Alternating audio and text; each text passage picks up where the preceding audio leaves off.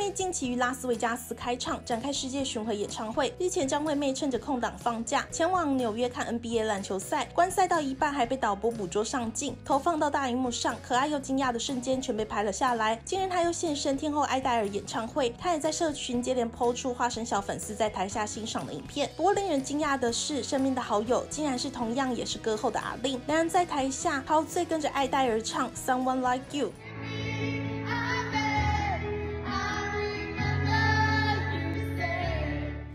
嗓音让粉丝大饱耳福，超强组合现身观众席，也让许多粉丝惊讶不已，直呼遇到的话真的是烧几辈子好香吧。